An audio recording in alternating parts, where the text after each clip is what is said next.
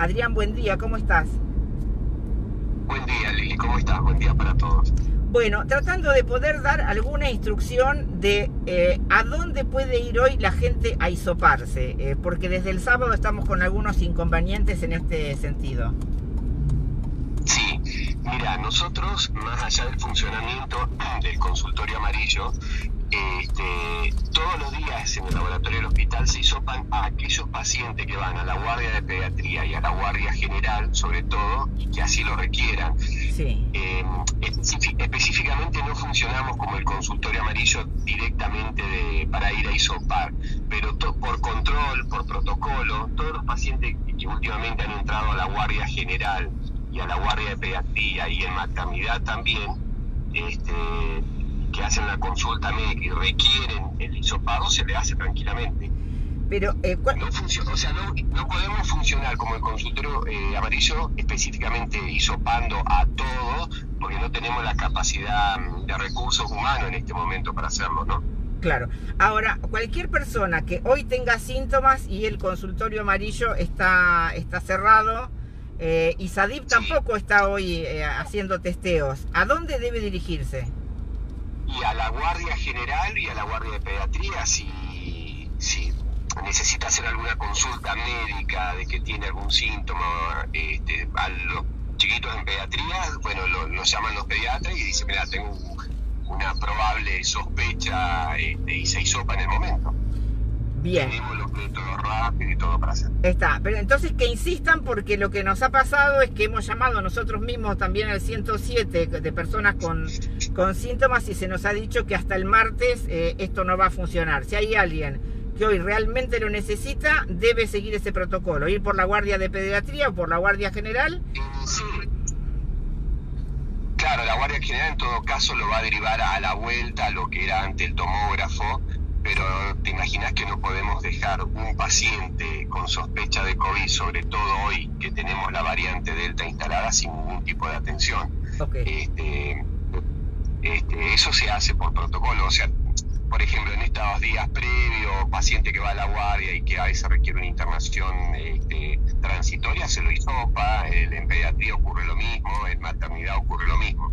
Este, si llega a tener la variante Delta y tiene algún integrante de la familia por X motivo, bueno, lo ideal sería controlar esa situación, ¿no? Claro, ha, sido bastante confuso porque no ha habido comunicado oficial que le diga a la gente, mire que no podemos, que no, que, que, que, no se puede, eh, o que no, por lo menos no se hace como se, como se hacía siempre.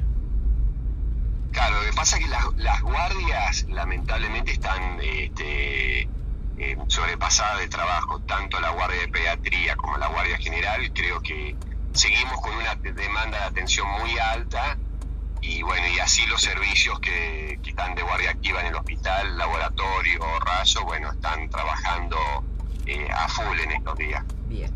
Realmente con un nivel de atención muy alto, muy alto. Bien, entonces a las personas que durante el fin de semana estuvieron esperando uh, eh, para ver si que están con síntomas y quieren eh, que, vayan, que concurran al hospital y que pidan ahí ser testeadas, eh, que en algún momento las y, y, quién las evalúa, quién las evalúa para ser testeadas. Ahí, por ejemplo, bueno, si va un chiquito a la guardia de pediatría, este, lo pide el pediatra y después va un bioquímico o un técnico a hisoparlo ya todos el protocolo ya lo conocen. Ah, y se hace en el momento también, ¿no? Pero no es que los bioquímicos están ahí, o sea, tienen que esperar, eh, digamos, citarlos a un horario específico. Claro, no, no, si está en la guardia y es convocado, muchas veces se le saca inclusive hasta una muestra de sangre, ¿no? Si hay una sospecha de para hacer un control también. Eh, y va el bioquímico o el técnico a tomar la muestra. Bueno, eh, discúlpame, no es que esté poniendo en duda tu, palabra, pero hemos tenido muchas consultas durante el fin de semana de por qué no están, no hay ningún lugar donde ir eh, con, bueno, los que tienen fiebre, los que tienen, los que se sienten eh, con ese decaimiento que provoca eh, la, delta, que es el, el previo y demás, de quedarse con la incertidumbre. Testeo rápido tampoco hay ningún lugar donde hacerse hoy. No, no, no. estuvimos hablando debido a esta, a esta situación y vamos a, en esta semana tenemos pensado ya reunirnos para ver el, el, fin de semana de nuevo, a ver si podemos poner algo, habilitar algo en el, en el paseo público, este, de, de, poner un una carpa, algo para hacer testeo. Claro. Así que estamos en esto. Claro, sí, sí. pasa que, bueno, siempre el tema de los recursos humanos es complicado. Está. Y el, en el vacunatorio no no se podría que es algún lugar que está que es un lugar que está abierto de forma permanente. También también habría que hablar con, con la gente del vacunatorio podría ser podría ser una opción sí sí, sí, algo que quede cómodo para, para todos no este, para la gente que pueda acceder rápido y todo lo demás. Claro sí algo sí es una buena opción. Algo que se, algo que se sepa algo que se sepa que está abierto y que toda la gente pueda ir a ese a ese lugar no que nosotros podamos darle difusión. Exactamente sí Sí, sí, exactamente. Bueno, vamos a hablar con, Gabriel y vamos a... Eh, la idea es organizar algo para el fin de semana que viene. Bien. Bueno, Adrián, muchas gracias. Muchísimas gracias por atendernos. Por bueno, hasta luego. Adrián Spotti, eh, jefe de laboratorio del hospital.